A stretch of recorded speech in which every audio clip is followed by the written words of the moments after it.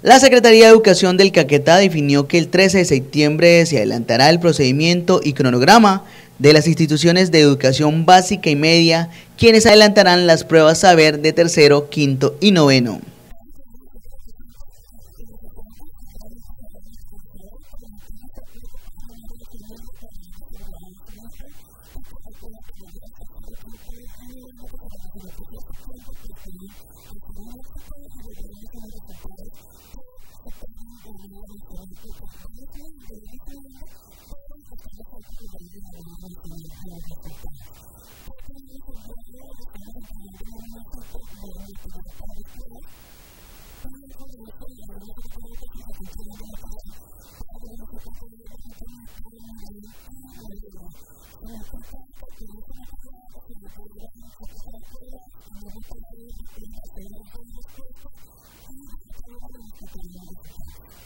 Ante la crisis que atraviesa el programa de alimentación escolar PAE del Ministerio de Educación, la Gobernación del Caquetá ha indicado que adelantan gestiones para la consecución de recursos para financiar este suplemento alimentario.